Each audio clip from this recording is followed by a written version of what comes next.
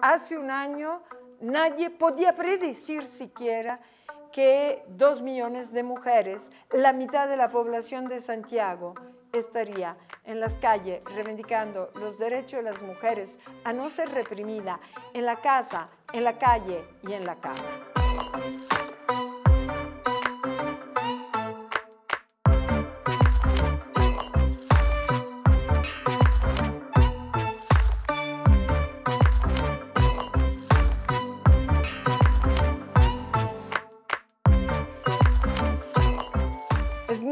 Difícil dar una fecha de inicio a un, a un movimiento, sobre todo cuando es un movimiento al que le reconozco por lo menos 240 años de antigüedad. Hace cinco años, la confluencia de algo que viene por lo menos desde hace 20, esta impresionante defensa de los territorios contra los megaproyectos que pone en juego la voluntad, la palabra y las acciones de las mujeres de los pueblos originarios, de las, mujeres eh, campesinas, que, en muchísimas ocasiones son las mismas. Es decir, cuando pienso en mujeres eh, rurales que mantienen, por ejemplo, una agricultura no solo de subsistencia, sino realmente alimentaria para la mayoría de la población que no puede ir a un supermercado de lujo, ¿verdad? Pero que come todos los días, come por una producción agraria de mujeres que han dicho basta al acoso, a los piropos que sí molestan, a los chistecitos, ¿no? Al mansplaining. Eso es, cuando un hombre llega y te explica con aire docto cómo tú te sientes. Hace un año yo estaba en la cama, enferma, y entonces eso me permitió escribir este librito. Hace un año yo ya estaba viendo la potencia del eh, movimiento feminista latinoamericano. Considero que es una potencia nuestroamericana eh, que viene de la confluencia de algunos eh, elementos que hasta ahora no se habían dado. Estamos eh, frente a las compañeras chilenas que empiezan a denunciar el acoso, que del acoso enfrentan a la policía, probablemente el sistema em, de policía militarizada que los chilenos copiaron a los italianos y que se llama Carabineros caerá gracias a un, ¿cómo lo llamamos? Uh, ¿Performance?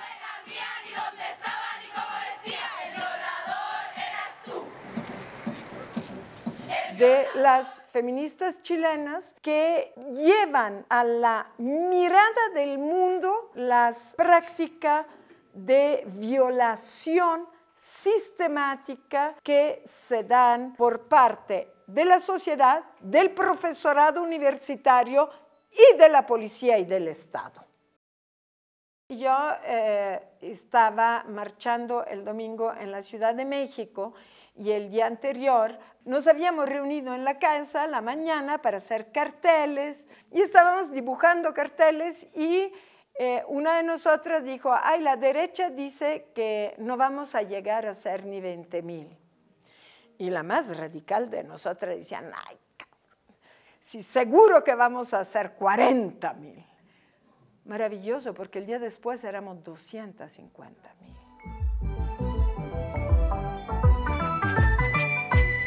De las 250 mil mujeres que vi en la plaza, el 80% tenía menos de 25 años. Las jóvenes se vuelven feministas en masa también porque no es solo el sistema patriarcal el que se evidencia, sino porque todo el sistema capitalista demuestra ser patriarcal. Esto es una realidad ya no de un país, sino de una generación que es la generación donde está el mayor grupo de feministas hoy. en las marchas encontramos mujeres de todos los grupos etarios y también de sectores que antes no participaban de las marchas feministas porque tendían a decir que el feminismo dividía a la clase, al, al trabajo de clase, tendían a dividir a las comunidades indígenas y tendíamos a dividir a las comunidades negras que se defendían del racismo. Y hoy resulta que en las marchas hay mujeres también de todos los grupos racializados. Había mujeres en bicicleta que decían que escogían su medio de transporte desafiando el transporte privado en la Ciudad de México porque son ecologistas urbanas. ¡Wow! Esto implica también una posición política de un colectivo feminista en una marcha había mujeres en silla de rueda, es decir, mujeres que decían, a mí no me van a seguir discriminando porque tengo una discapacidad motora. Por supuesto que había mujeres con un discurso espiritual de paz universal, del fin del capitalismo, porque la gran diosa va a venir ahora a salvarnos a todas y a todos. La verdad es que había una diferencia de presencia enorme eh, diferencias de clases muy eh, grandes también, muchísimas mujeres de sectores, eh, no solo de trabajos muy mal pagados como los call centers, sino también de los bolsones maquileros industriales. Había muchísimas mujeres del comercio informal de la Ciudad de México que muy difícilmente se organizan políticamente. Por supuesto, en México la primera demanda es la demanda por la vida. Cuando salgo a la calle me quiero sentir libre, no valiente, era el cartel más difuso en la marcha. Las calles también son mías, la noche también es mía. Nadie me puede quitar el derecho a la calle y a la ciudad. Un 70% de las mujeres que marcharon en la Ciudad de México con pañuelos verdes. Y los pañuelos verdes quieren decir exigencia de aborto libre y gratuito. También muchísimas mujeres enarbolaban carteles que decían, mis ideas son tan válidas como las tuyas. Reivindicación por la vida, por las ideas, por las decisiones que tomamos, por la libertad de movimiento. Creo que esta ola ¿no? que inicia eh, con eh, la reivindicación de ni una asesinada más en México, y ni una mujer menos en Argentina, es una reivindicación que recorre el continente y que recorre el mundo. ¿sí? O sea que nosotros lo hayamos puesto en evidencia también porque el nivel de violencia contra las mujeres latinoamericanas es brutal. Somos el 9% de la población mundial y el 53% de los feminicidios del mundo sucede en América Latina. Y entonces me dicen, sí, pero ¿qué va a ser? En México mueren cada día mucho más hombres que mujeres, hay 90 asesinatos al día. Sí, es cierto, pero los hombres se matan entre sí. Mientras nosotras nos matan ellos. Las mujeres somos responsables del 4% de los delitos que conllevan violencia. Pero la verdad, el hecho es que en 2015 se levanta un movimiento en Argentina que recorre toda América Latina y que cinco años después no ha parado, sino está creciendo, mostrando toda su potencia, porque las mujeres dijimos, basta al ser víctima. Desgraciadamente, la palabra feminicidio pasa al castellano, por las madres y las estudiosas del fenómeno de Ciudad Juárez en 1993. ellas dijeron que el asesinato por motivo de género no era un cualquier homicidio, sino era feminicidio. Entonces, esta dinámica de violencia es una dinámica eh, que es regional. En realidad va del centro de Estados Unidos hasta Nicaragua.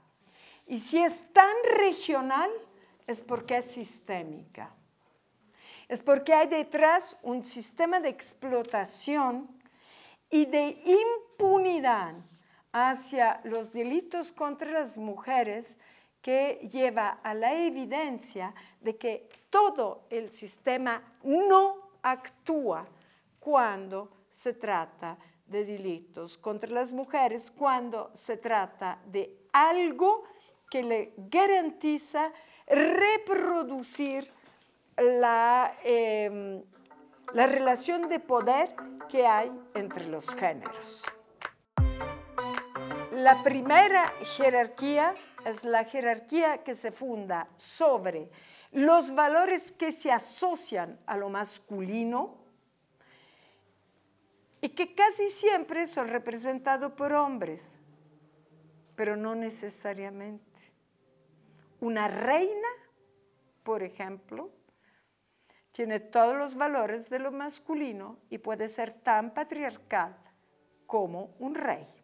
En esta división del trabajo, en la cual cada vez más tenemos una masculinización del poder de muerte, por lo tanto, militares, aunque haya militaras, ¿sí?